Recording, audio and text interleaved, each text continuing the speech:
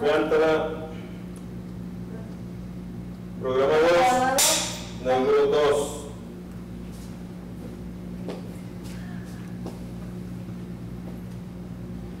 Gira, gira un poco el iPad ese. Mi iPad. Ah, fíjate, aquí voy a hacer en este bloque lo de, lo de pasar unas imágenes de ellos con mi super iPad. Voy a hacer así.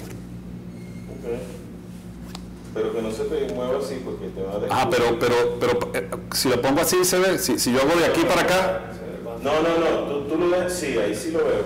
claro, pero, pero no se ve que no. Que, que- Coño, veo el vaso. ah, pero vamos a quitarlo. Pero es que prefiero, no sé. No, yo lo voy a sostener así. Es que si te veo haciendo esto, te descubro. Que, que- No, pero es que yo, estoy- yo estoy haciendo así, yo voy a hacer así, después digo, vamos a ver unas imágenes del equipo de teneo y hago así y, y ¡pam! Se van a Ok, salir las listo, imágenes. vamos. Preparados, silencio. ¡Action! Muchísimas gracias por continuar con nosotros aquí en Gerencia para Todos. Hoy estamos tocando los temas de innovación aplicada al emprendimiento, en el caso de tnoradio.com, por eso nos acompaña su director, el señor Rafael Casela. Rafael, quisiéramos que nos explicara, sobre todo para los emprendedores, cuáles son las ventajas y cómo está constituida TNO Radio desde el punto de vista tecnológico. Hablaste del streaming, de la capacidad de transmitir contenido, no solo música, sino contenidos importantes. ¿Cuáles son esos contenidos y cómo uniste ese contenido a la tecnología que aplicas? Sí, en efecto nosotros, nuestra esencia es vía streaming. De hecho, somos los únicos que mantenemos un streaming de video y un streaming de audio. No los ponemos a viajar en conjunto, aun y cuando eso puede traer algunos temas de sincronismo o lip sync, pero siempre vamos a tener uno de los dos para que la gente, el usuario, pueda percibir nuestro trabajo, ¿verdad? En esencia, insisto, somos radio y el valor agregado del video, es un valor agregado. Nosotros no tenemos el esquema total real de lo que significa, con toda la propiedad del caso, la televisión digital. Si hay algún argumento que nos, nos adornamos, generar caracteres, un insert, nuestro logo, algunas cosas. Pero en, en sí somos una radio, esa es nuestra esencia. A propósito de eso, vamos a ver algunas imágenes relativas a cómo funciona TNO Radio. Adelante. Ok. Ok. Continuamos. Como pudieron ver, es interesante el esquema tecnológico y sobre todo el display que tiene TNO Radio para mostrar imagen y audio.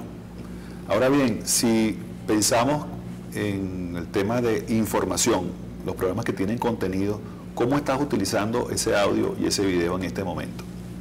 Nosotros basamos el contenido precisamente porque nos definimos en una emisora multigénero.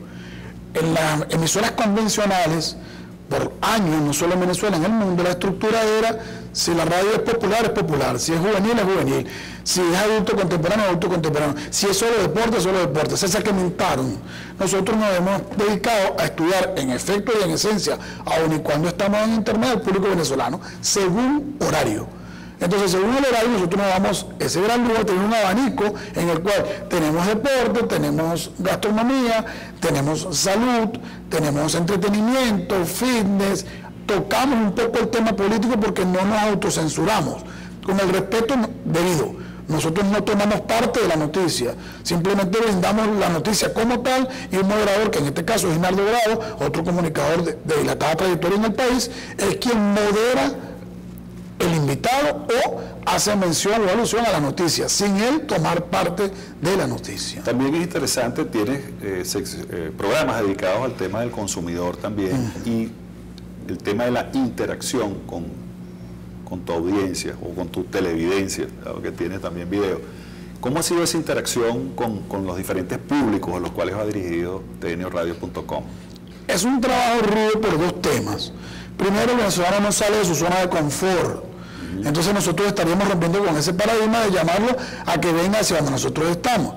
No en vano, ya superamos nosotros en, en redes sociales, en Twitter tenemos más de 58 mil seguidores y sigue creciendo en tan solo meses que tenemos al aire realmente con la radio. Nosotros, entre todos nuestros talentos, sumamos más de 1.600.000 seguidores solo en las redes sociales Twitter e Instagram. Eso es interesante porque mencionas ese halo ¿no? que, que- que compone todos los talentos y que está alrededor de TN Radio y hay esa interacción con cada uno de, de esos públicos. Eso también es interesante para el tema comercial, es decir, para transmitir mensajes que efectivamente tengan, alcancen a diferentes públicos. ¿Cómo está organizado TNO Radio para servir, digamos, a la comunidad de negocios de nuestro país? Nosotros inicialmente, todos los días, y esa es parte de nuestra filosofía, siempre estamos en un constante testing. Jamás hemos pretendido hacerle creer a nadie que somos la Biblia para que nosotros nos sigan. No.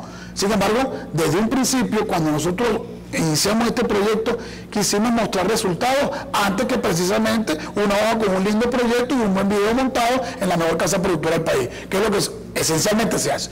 Nosotros salimos a mostrar nuestros números, nuestros contenidos, nuestros talentos. Nosotros tenemos más de 26 talentos. Pocas emisoras convencionales consolidadas en Venezuela se pueden dar ese lujo de tener 26 talentos en su programación. Eso le da la oportunidad al usuario o a la agencia de publicidad con las cuales mantenemos una estrecha relación, ya que tenemos un programa, el único en Venezuela dedicado realmente al marketing, pero no al marketing como había otros programas donde solamente nombraban la marca y listo, nombraban la marca y listo, no. Detrás de lo que aquí estamos haciendo, hay 7, 8, 10, 15 personas en este momento aquí grabando.